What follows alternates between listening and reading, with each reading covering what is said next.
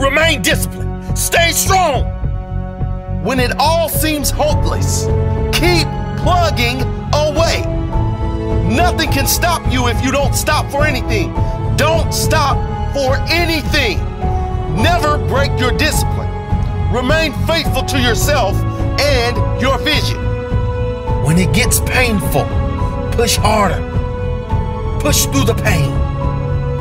You gotta have the discipline to do 11 when your opponent stops at 10. The discipline to keep going when it hurts. Because life doesn't give you what you want, it gives you what you deserve.